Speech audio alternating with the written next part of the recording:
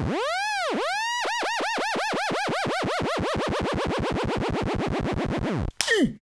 Il y a quelques vidéos de ça, je vous avais promis qu'on ferait les cons avec le mat. Mais je vous avais pas dit pourquoi. La raison c'est parce que dans une vidéo euh, encore plus ancienne, celle sur tout ce set de percus que j'avais fait au modulaire, je m'étais plaint pendant plusieurs minutes de ce que le mat n'avait pas de sortie max. Alors pour ceux qui ne savent pas pourquoi une opération max est souvent préférable pour combiner deux enveloppes à un simple mix, c'est-à-dire une simple addition, je vous remets le petit dessin que j'avais fait à l'époque où j'avais essayé d'expliquer ça. Et pendant que vous l'admirez, je dois faire un énorme mea culpa parce que en fait j'avais complètement tort. Le mat, il a une sortie max. Elle s'appelle OR, elle est ici, et d'ailleurs j'avais dit que max s'appelait parfois analogue OR, et peut-être qu'un jour j'expliquerai pourquoi. Là, je voudrais juste me trouver une excuse bidon, qui est que leur police d'écriture, là, elle n'est pas hyper lisible, mais je crois que c'est surtout symptomatique du fait que quand on a plein de modules, et que surtout on s'est équipé très vite, comme moi, dans une espèce de gourmandise, ben, finalement, on en vient à connaître aucun de ces modules à fond. Aussi, c'était vraiment ma hantise, ma plus grande peur, euh, d'un jour sortir une énorme connerie dans une vidéo, puis de la laisser passer et de la publier comme ça, bah ça au moins c'est fait. Et ça c'est la plus grosse connerie que j'ai dite. Par contre, euh, ce qui m'arrive très souvent c'est de dire des petites conneries. Et ça je les compte même plus. Et je vous propose de commencer un nouveau jeu. Hein. Euh, la prochaine fois que vous repérez dans ce que je dis quelque chose qui est peut-être pas complètement faux, mais enfin pas rigoureusement exact non plus, euh, corrigez-moi en commentaire, on va appeler ça le jeu de la connerie du mois, et je mentionnerai chaque fois les gagnants dans, la vidéo suivante, ok? Pour ce qui est de cette grosse connerie par contre, d'avoir prétendu et insisté à enfoncer le clou pendant je sais pas combien de minutes sur euh, l'absence d'une sortie max sur le mat, j'estime avoir à me faire pardonner par Make Noise, je leur devais bien une petite pub sur le mat. Ma première idée, c'était de faire une review, de montrer un petit peu toutes ses fonctionnalités, mais rien qu'à l'idée de commencer à expliquer, bon alors, une enveloppe est un module qui permet de créer de modulation, je m'en emmerdais d'avance. Alors je me suis dit, et si on faisait plutôt un truc un petit peu inhabituel avec le mat, un petit peu fou, euh, je suis sûrement pas le premier à y penser, mais au moins on voit ça moins souvent qu'un simple passage en revue de ses fonctionnalités de base. Alors, le principe est simple, on va se servir de ces deux canaux, on va faire tourner celui de droite en boucle avec le bouton Cycle ici. Et une enveloppe bouclée, ça revient plus ou moins à faire un LFO, mais on va le faire tourner tellement vite que ça reviendra à un oscillateur. Et puis on utilisera le canal de gauche pour moduler la hauteur de cet oscillateur en modulant un des temps, ou les deux, de celui de droite. Pour commencer, on prend la sortie du canal de droite et on va directement l'envoyer dans la sortie ligne, mais en passant par ce machinoscope pour un petit peu voir le signal. Boum Et voilà. Vous voyez sur la trace verte qui n'en sort rien du tout, c'est parce qu'il faut augmenter son amplitude de sortie jusqu'au max. Et on voit toujours rien parce que ce qu'il faut faire, c'est le boucler. Voilà. Vous voyez là maintenant une enveloppe bouclée.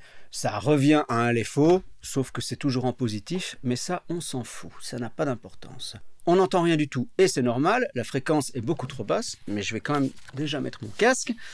Si maintenant j'accélère ces temps, donc je vous mets des temps plus courts, là vous voyez, on a une attaque très courte.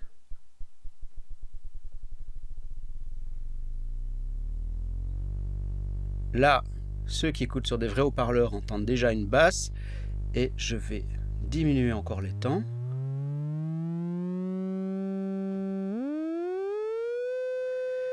Alors, on dirait qu'on est déjà au max, mais vous voyez le réglage de forme de courbe ici. Hein. Euh, on va ralentir un petit peu de nouveau pour qu'on puisse voir. Là, vous voyez, les deux pentes sont linéaires. Hein. Et maintenant, je suis en train de changer la forme. Vous voyez, ça fait des courbes et non plus des droites sur l'affichage. Ce qui m'intéresse surtout dans cette fonction, c'est que plus on va vers exponentielle, plus on a tendance à réduire les temps sur le mat ou sur le fonction, hein, qui est la même enveloppe que dans un mat. Et donc, ça me permet d'aller encore plus haut en fréquence, c'est-à-dire encore plus haut dans les aigus.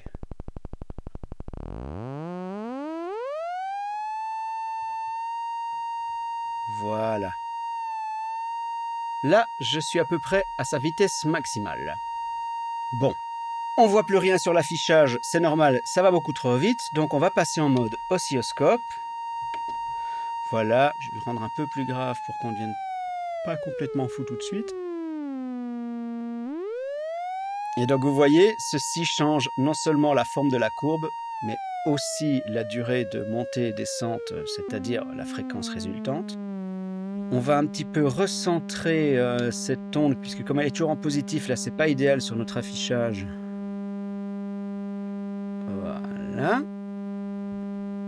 Là, on est bon.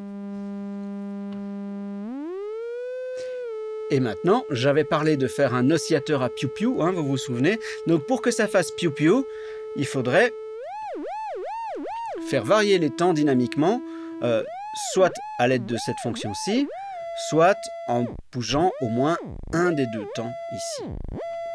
Le rise, le fall. Ça revient un petit peu au même. Alors, on va sortir de l'enveloppe de gauche. Hop, on va moduler euh, un des paramètres de temps de celle de droite. Et ce qu'on va faire, c'est qu'on va la boucler aussi, mais elle, par contre, on va la garder relativement lente. Il faut aussi augmenter son amplitude.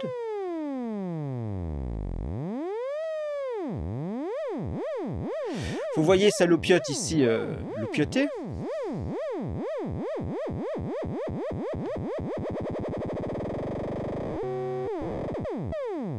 Et si on augmentait l'amplitude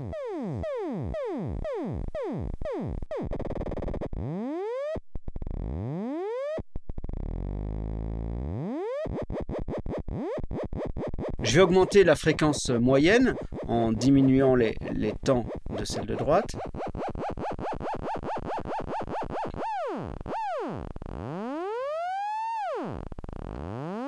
Alors, les entrées Rise et Fall sont linéaires et entre les deux, on a une troisième entrée qui va contrôler les deux temps et qui, elle, est logarithmique. Alors, Bon, c'est pas que la différence entre linéaire et logarithmique euh, me passionne tellement dans ce cas-ci, mais j'ai remarqué qu'avec celle-ci, il y a moyen d'aller plus loin, d'avoir une modulation de plus grande amplitude. Par contre, là, on sent qu'on plafonne au plus aigu dont il est capable. Alors on va diminuer un peu sa fréquence comme ceci.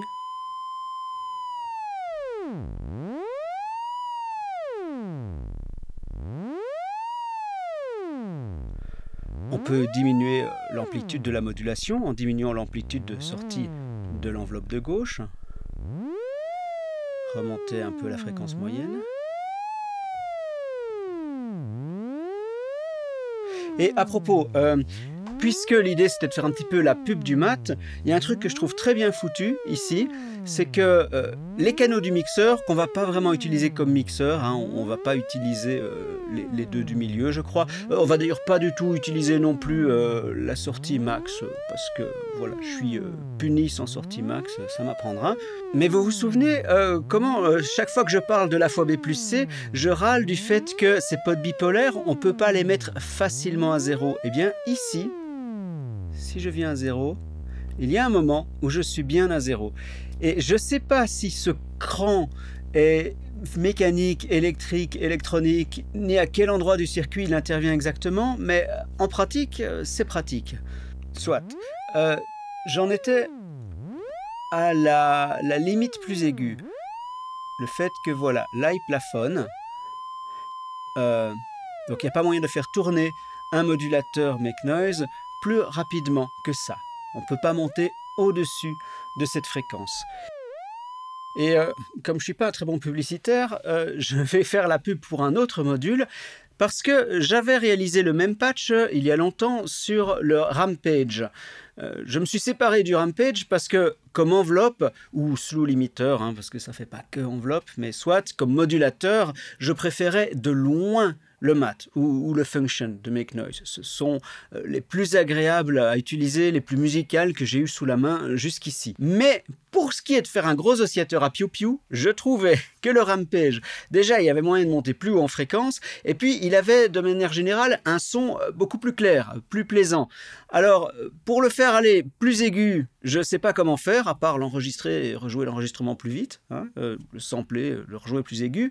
Mais pour ce qui est de le rendre plus clair, pas de problème, il n'y a qu'à le passer dans une distorsion. On va faire ça tout de suite. Hop.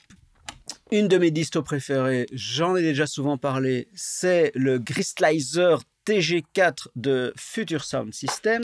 Des anglais très sympas. Hop, on s'écoute ça.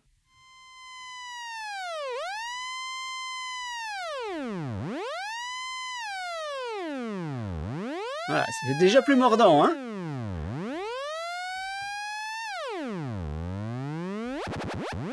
Alors, euh, c'est pas tout ça, mais l'idée c'est de faire des gros piou-piou. Alors, euh, on va moduler encore les temps du modulateur de droite. Hein. on pourrait le moduler avec, euh, par exemple, une autre enveloppe. Boum. Qui elle aussi est cyclée, bouclée. Hein.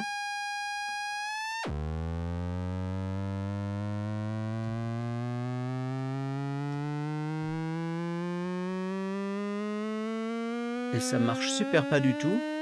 On entend un petit quelque chose, mais pas grand chose.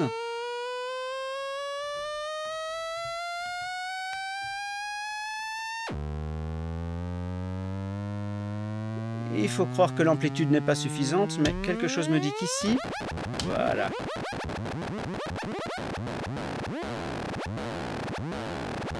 L'amplitude de cette modulation est trop grande. Et donc, euh, j'avais dit qu'on n'allait pas se servir du mixeur. Ben, c'est vrai, on va pas s'en servir comme d'un mixeur, mais on va utiliser un des atténuateurs pour atténuer cette enveloppe. Le canal 2.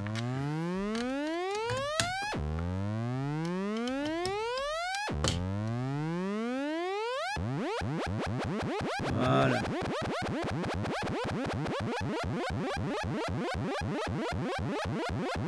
Vous la voyez loupioter elle aussi. Je vais essayer de trouver un réglage euh, tel qu'on comprenne un peu mieux ce qui se passe.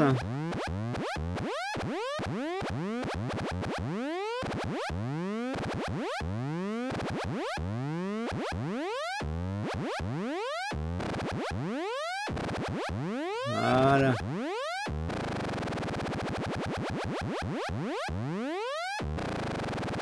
Voilà.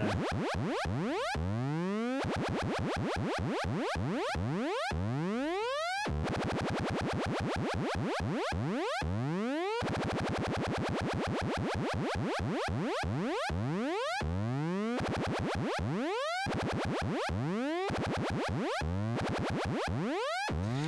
Alors, qu'est-ce qu'on peut faire d'autre? Parce que bon, déjà, mission piu-piu accomplie, hein. là je crois que c'est bon.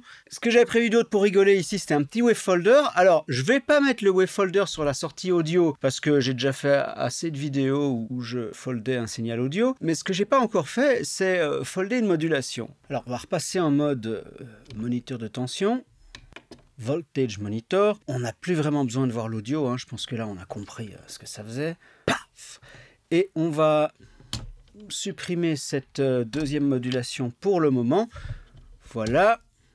Donc, on a l'enveloppe de gauche qui module celle de droite, qui nous sert d'oscillateur. Alors, euh, j'ai dit que j'avais réalisé le même patch sur le Rampage. Euh, on peut réaliser ce patch sur n'importe quelle paire de modulateurs. Un des modulateurs en tournant très rapidement sert d'oscillateur et l'autre en tournant plus lentement sert de LFO. En fait, ce que je fais, ça revient à moduler la fréquence d'un VCO avec un LFO. Hein. Bon. Mais on va passer la modulation dans le wavefolder. Donc d'abord, je voudrais la faire passer par le moniteur ici pour, pour la voir. Pouf, voilà. On voit donc en vert très bien ce qu'on entend. On va l'accélérer un petit peu. Et maintenant, qu'est-ce qui se passe si je la passe dans un Wave Folder? On va faire un patch qui va avoir l'air un petit peu plus compliqué que nécessaire parce que je voudrais passer l'avant et l'après Wave Folder dans le moniteur ici, donc ça va un peu multiplier les câbles. Mais en gros, si je devais le faire sans le moniteur, ça revient à sortir de cette enveloppe, rentrer dans le Wave Folder, en ressortir, pour rentrer dans ce qui fait office d'oscillateur, donc au lieu de passer directement comme ça. Mais maintenant, on va passer l'avant et l'après wavefolder euh, dans le moniteur, donc ça va donner quelque chose comme ça voilà, et alors j'ai aussi dû repasser dans l'atténuateur ici après le wavefolder, parce que sinon le niveau était beaucoup trop fort. En jaune, c'est la sortie du wavefolder, et pour ceux qui ont vu ma vidéo sur les wavefolders, ou qui en ont déjà utilisé, vous comprenez probablement ce qui se passe. Ça permet d'obtenir une forme de modulation plus complexe.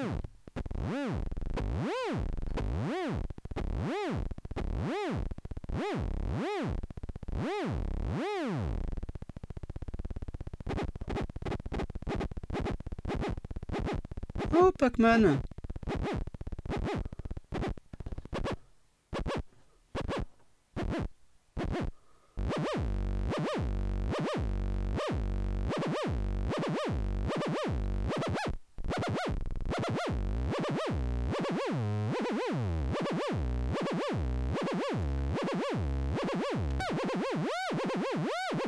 Voilà.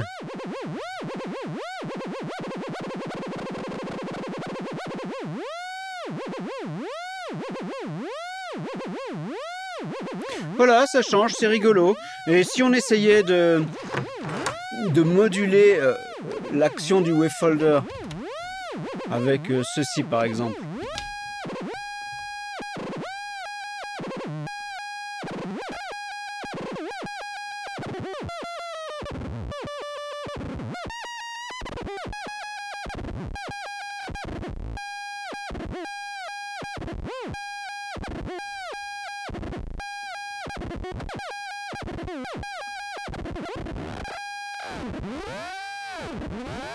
Ah, c'est rigolo ça.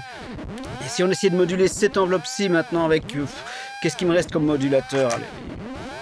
On va démarrer ce séquenceur.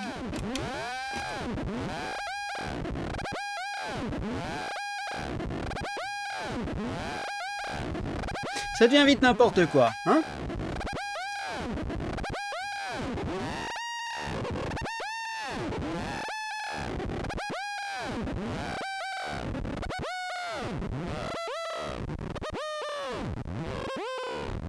Bon, et si je reviens à mon patch de tout à l'heure, alors hein. Vous vous souvenez? Bon, maintenant je vais essayer euh, de wavefolder cette modulation-ci. Poum, voilà. Ah, peut-être que j'aime mieux. Bon, en même temps, il n'y a pas 10 000 façons de faire piou-piou, hein, mais... Celle-ci est assez rigolote.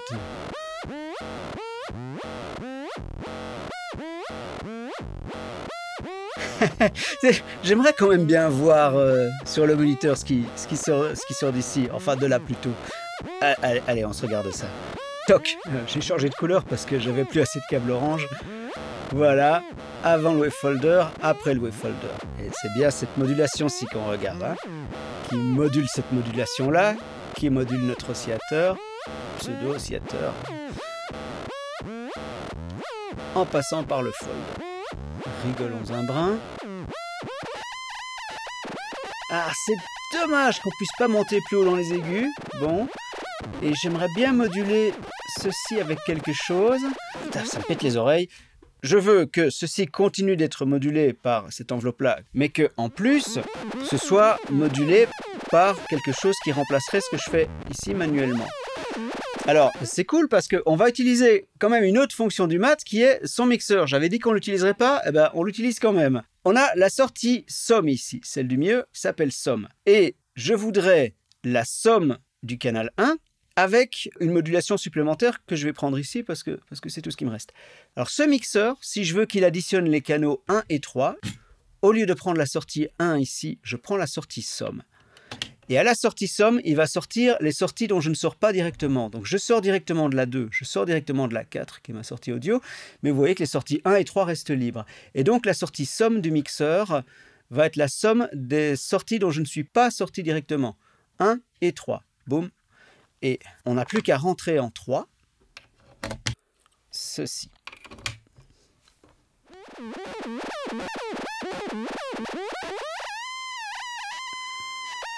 Alors, on va commencer par essayer de faire quelque chose de simple. On voit clairement euh, l'effet de ce canal du séquenceur.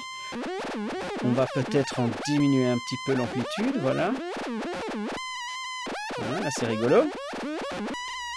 Qu'est-ce qui se passe si je mets du glide Voilà, c'est un peu moins abrupt. Hein. Il y a un glide de cette valeur-ci à cette valeur-là et de cette valeur-là à celle-ci.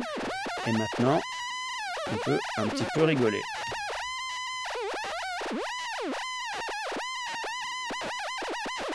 On va ralentir ça.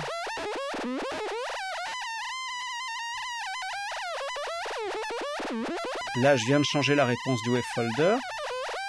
Et je continue.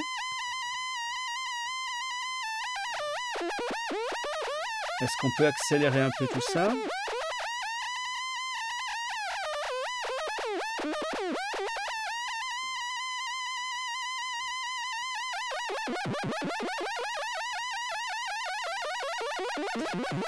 Maintenant, je voudrais additionner à cette modulation-ci, qui module donc la, vitesse de la modulation principale, je voudrais y ajouter un offset qui sera le canal B de mon séquenceur. Alors là, si je veux encore additionner deux signaux, j'ai besoin d'un mixeur supplémentaire. Je vais utiliser la fois B plus C.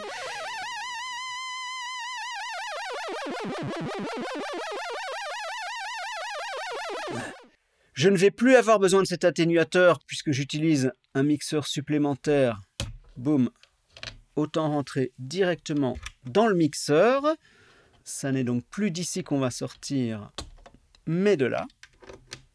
Et on va changer de couleur pour changer de couleur.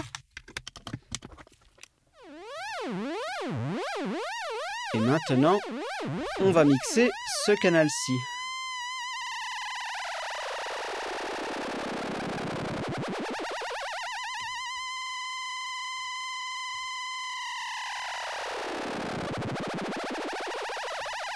Alors c'est dommage que on tape autant dans la limite euh, supérieure des fréquences que le mat peut sortir.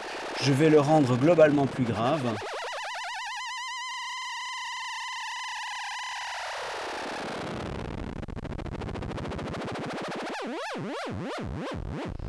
Et voilà, mission Pac-Man accomplie. Comment transformer le mat en un gros oscillateur à piou-piou?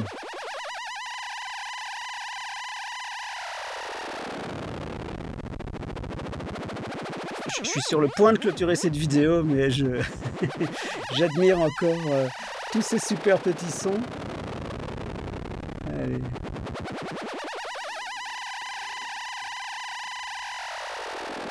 Chipotons encore un peu au réglage et puis, et puis on va emballer. Emballer ça. Hein.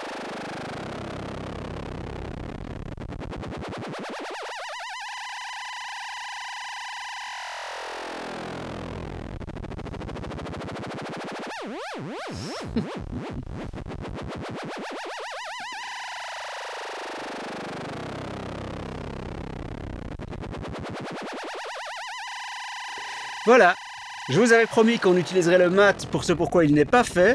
Et eh ben c'est fait. À votre tour de vous amuser, ça marche avec le mat, ça marche avec n'importe quelle double enveloppe euh, ou double modulateur et ça marche avec n'importe quelle paire de modules euh, qui a moyen de faire euh, varier cycliquement. Amusez-vous bien. Je vous souhaite de faire beaucoup de bruit d'ici la fois prochaine. Salut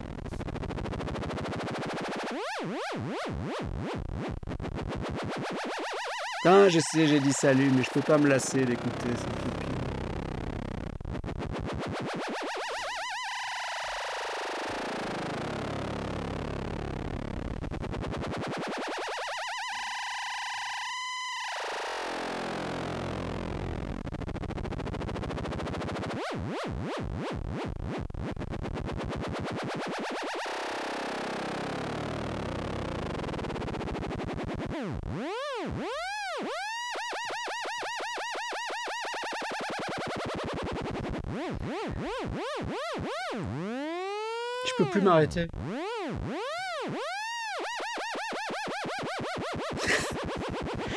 Il rigole en plus, il se fout de ma gueule.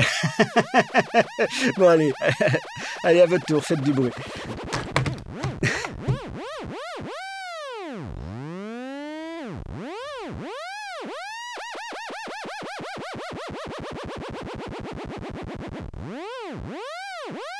Ah oui, mais euh, pub quand même. Euh, tous les sons qu'on a enregistrés ici euh, sont, comme d'habitude, disponibles au Patreon. Patreon, c'est une des manières euh, de m'aider à financer euh, la réparation du studio après cette putain d'inondation et de manière plus générale de financer ces tutoriels modulaires mensuels. Il y a d'autres moyens d'aider, ils sont en description. Mais alors cette fois-ci, il y aura un bonus dans le, pack de sons disponible au Patreon parce que vous voyez tout ce qu'on a fait ici, à cause des, moyens du bord et, de l'état désastreux du studio, regardez sur quoi j'ai enregistré. Regardez, voilà, là. Hein. Ça, ça c'est la super carte son qu'on a utilisée ce coup-ci.